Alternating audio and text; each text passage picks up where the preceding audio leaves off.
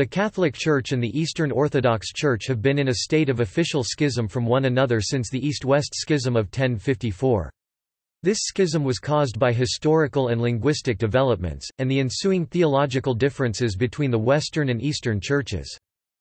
Main points of discontent for the Catholic Church are the papal primacy and the filioque clause.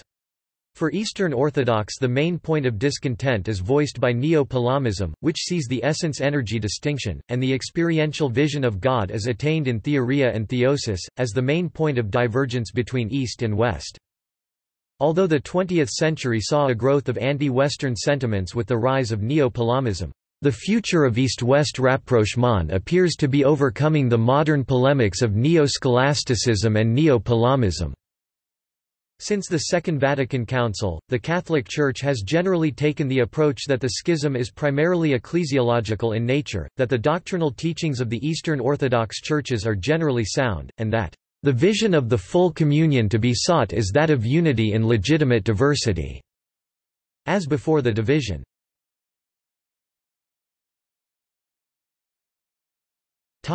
Areas of doctrinal agreement Both churches accept the decisions of the first seven ecumenical councils of the undivided Church.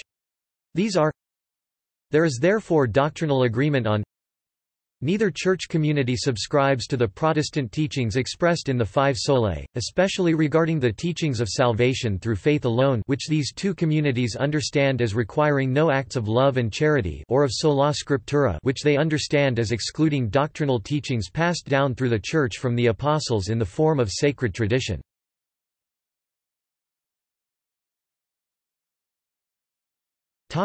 East-West Schism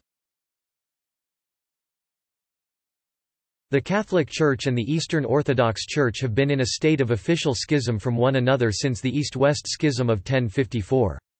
This schism was caused by historical and linguistic developments, and the ensuing theological differences between the Western and Eastern churches. The Roman Empire was divided into a predominantly Greek-speaking eastern half and a Latin-speaking western half, resulting in a separation into two empires, the Western Empire and the Eastern Empire also known as the Byzantine Empire or Byzantium with the passing of Theodosius I in AD 395. With the fall of the Western Empire in 476 AD, the whole of what had been the western part of the empire was ruled by Germanic people. The subsequent mutual alienation of the Greek-speaking East and the Latin-speaking West led to increasing ignorance of the theological and ecclesiological developments of each tradition. The Eastern Church and the Western Church used respectively Greek and Latin as its medium of communication. Translations did not always correspond exactly. This also led to misunderstandings.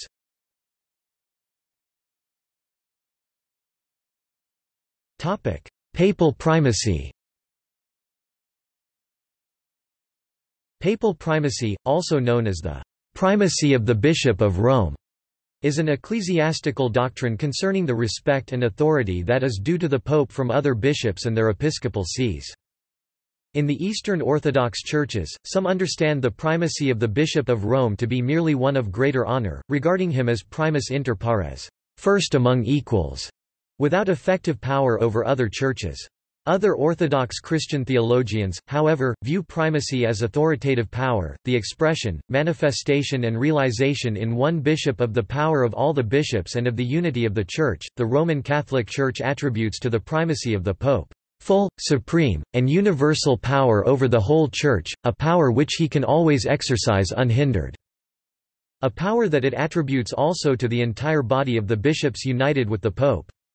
The power that it attributes to the Pope's primatial authority has limitations that are official, legal, dogmatic, and practical. In the Ravenna document, issued in 2007, representatives of the Orthodox Church and the Roman Catholic Church jointly stated that both East and West accept the fact of the Bishop of Rome's primacy at the universal level, but that differences of understanding exist about how the primacy is to be exercised and about its scriptural and theological foundations.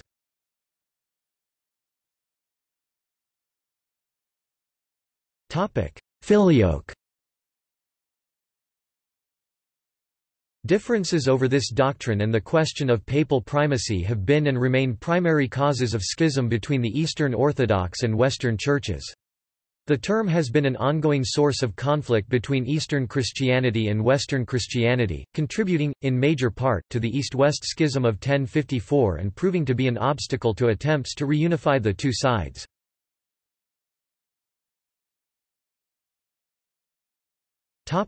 The Filioque clause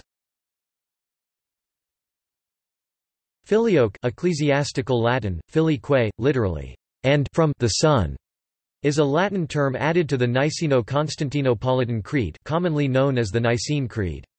The Latin term filioque describes the procession of the Holy Spirit as double, and is translated into the English clause, and the Son, in that creed. I believe in the Holy Spirit, the Lord, the giver of life, who proceeds from the Father and the Son.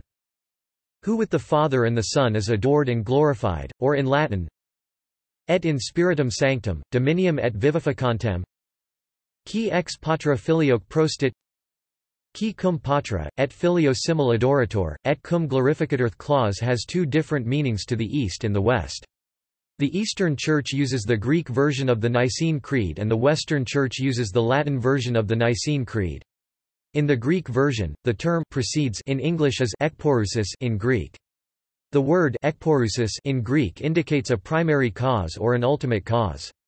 So, in Greek, if the filioque clause is added, the Nicene Creed would state that the Spirit proceeds has his ultimate cause from the Father and the Son.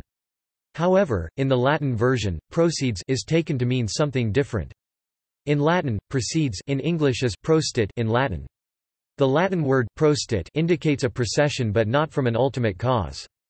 So to add the filioque clause to the Latin version would cause the Nicene Creed to state that the Spirit proceeds but not in the sense of coming from an ultimate cause or source from both the Father and the Son. The two versions of the Nicene Creed, Greek and Latin, say two different but equally true things about the procession of the Spirit. The idea that the Spirit proceeds as from an ultimate cause from both the Father and the Son has for a very long time been considered heresy by both the Eastern and Western churches, and so to add the filioque clause to the Greek version of the Creed would be considered heresy by both sides. It would not be considered heretical to add the clause to the Latin version of the Creed, however, because of the Latin understanding of the word proceeds, which is different from the Greek understanding. The controversy surrounding the filioque clause is a problem of language, not a problem of theology.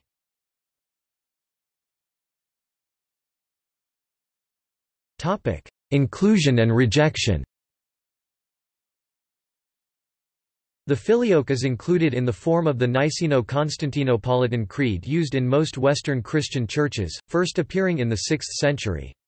It was accepted by the popes only in 1014 and is rejected by the Eastern Orthodox Church, Oriental Orthodox Churches and Church of the East.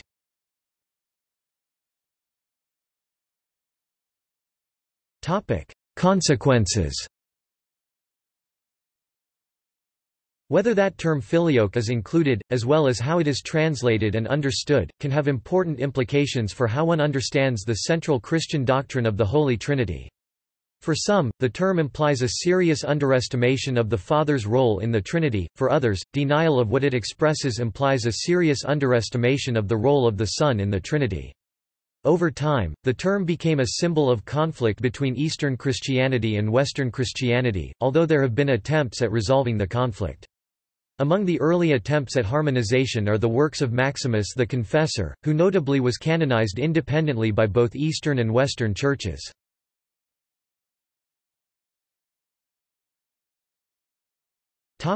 Neo-Palamism, Theoria and Hesychasm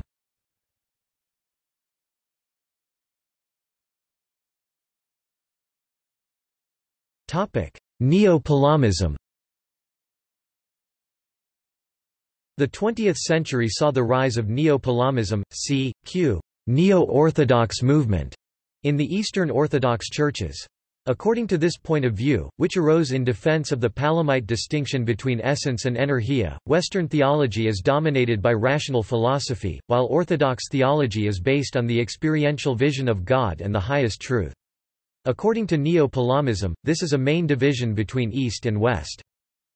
Neo-Palamism has its roots in the Hesychast controversy or Palamite controversy 14th century, in which Gregory Palamas provided a theological justification for the centuries-old Orthodox practice of hesychasm. The hesychast controversy lead to a further distinction between East and West, giving a prominent place to the contemplative practice and theology in the Eastern Orthodox churches. The publication in 1782 of the Philokalia, which lead to a revival of hesychasm, accepted in particular by the Slav Orthodox churches. Together with the importance attached to it in the 20th century by the Paris School of Orthodox Theology it has led to hesychasm's becoming definitive for modern Orthodox theology as never before, with its Palamite essence energies distinction.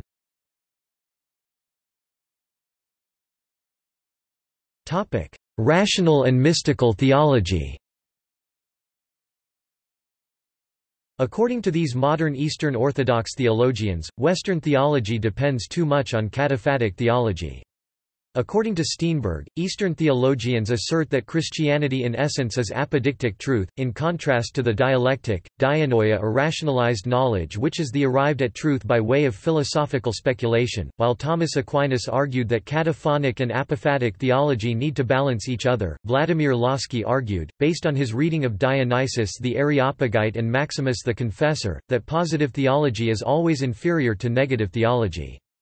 According to Lossky mysticism, c. q. gnoseology, is the expression of dogmatic theology par excellence, while positive theology is a step along the way to the superior knowledge attained by negation. According to Lossky, the difference in East and West is due to the Catholic Church's use of pagan metaphysical philosophy, and its outgrowth, scholasticism, rather than the mystical, actual experience of God called theoria, to validate the theological dogmas of Catholic Christianity. Lossky argues that therefore the Eastern Orthodox and Catholics have become different men, stating that Revelation sets an abyss between the truth which it declares and the truths which can be discovered by philosophical speculation. Lossky had a strong influence on 20th-century Orthodox theology, and influenced John Romanides, himself also an influential theologian on his own. Romanides saw a strong dichotomy between Orthodox and Western views, arguing that the influence of the Franks, and Western acceptance of Augustine's theology, is the starting point of Western rational theology, and the dichotomy between East and West. This same sentiment was also expressed by the early Slavophile movements 19th century in the works of Ivan Kireyevsky and Alexei Khomiakov. The Slavophiles sought reconciliation with all various forms of Christianity, as can be seen in the works of its most famous proponent Vladimir Solovyov.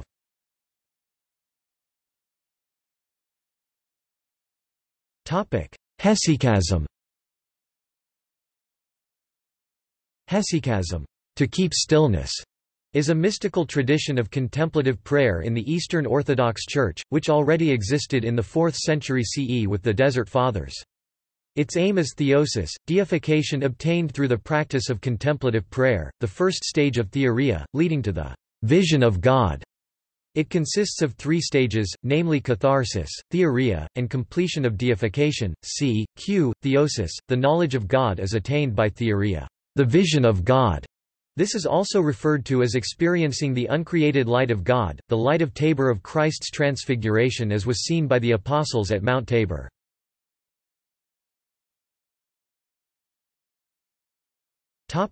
Hesychast controversy The Hesychast controversy was a theological dispute in the Byzantine Empire during the 14th century between supporters and opponents of Gregory Palamas. Gregory Palamas of Thessaloniki (1296–1359) provided a theological justification for the practice of hesychasm. Palamas stated that there is a distinction between the essence and the energies of God. While God in his essence is unknowable and indeterminable, the vision of God can be attained when his energy is seen with the eyes as the uncreated light. Palamas formulated his ideas on this distinction as part of his defense of the Athonite monastic practice of hesychasmos against the charge of heresy brought by the humanist scholar and theologian Barlaam of Calabria. Orthodox theologians generally regard this distinction as a real distinction, and not just a conceptual distinction. Historically, Western Christian thought has tended to reject the essence-energies distinction as real in the case of God, characterizing the view as a heretical introduction of an unacceptable division in the Trinity and suggestive of polytheism.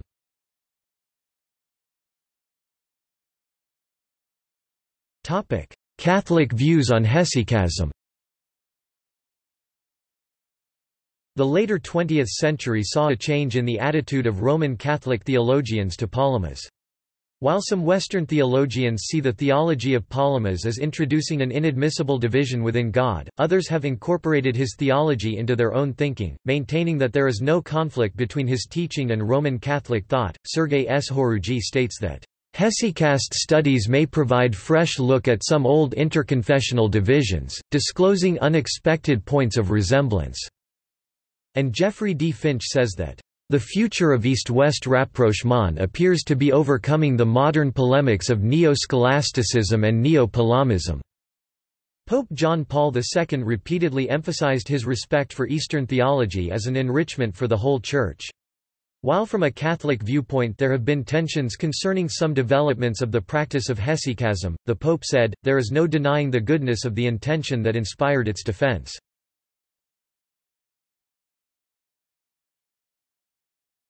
Topic: Future directions. Jeffrey D. Finch claims that the future of East-West rapprochement appears to be overcoming the modern polemics of neo-scholasticism and neo-Palamism. The Catholic Church considers that the differences between Eastern and Western theology are complementary rather than contradictory, as stated in the Decree Unitatis Redintegratio of the Second Vatican Council, which declared, in the study of Revelation East and West have followed different methods, and have developed differently their understanding and confession of God's truth. It is hardly surprising, then, if from time to time one tradition has come nearer to a full appreciation of some aspects of a mystery of revelation than the other, or has expressed it to better advantage. In such cases, these various theological expressions are to be considered often as mutually complementary rather than conflicting. Where the authentic theological traditions of the Eastern Church are concerned, we must recognize the admirable way in which they have their roots in Holy Scripture, and how they are nurtured and given expression in the life of the liturgy. They derive their strength too from the living tradition of the Apostles and from the works of the Fathers and spiritual writers of the Eastern Churches. Thus they promote the right ordering of Christian life and, indeed, pave the way to a full vision of Christian truth. The Catholic Church's attitude was also expressed by Pope John Paul II in the image of the Church, breathing with her two lungs. He meant that there should be a combination of the more rational, juridical, organization-minded Latin temperament with the intuitive, mystical and contemplative spirit found in the East. The Catechism of the Catholic Church, citing documents of the Second Vatican Council and of Pope Paul VI, states, the Church knows that she is joined in many ways to the baptized who are honored by the name of Christian, but do not profess the Catholic faith in its entirety or have not preserved unity or communion under the successor of Peter. Lumen Gentium 15. Those who believe in Christ and have been properly baptized are put in a certain, although imperfect, communion with the Catholic Church. Unitatis Redintegratio 3. With the Orthodox churches, this communion is so profound that it lacks little to attain the fullness that would permit a common celebration of the Lord's Eucharist. Paul VI, Discourse, 14 December 1975, cf. Unitatis Redintegratio 13–18. On 10 July 2007 the Congregation for the Doctrine of the Faith published a document, approved by Pope Benedict XVI, that stated that the Eastern churches are separated from Rome the member churches of the Eastern Orthodox Church, Oriental Orthodoxy and the Assyrian Church of the East and for that very reason, lack something in their condition as particular churches and that the division also means that the fullness of universality, which is proper to the Church governed by the successor of Peter and the bishops in communion with him, is not fully realized in history.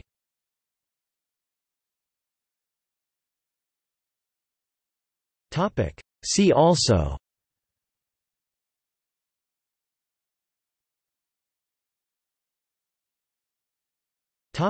Notes Subnotes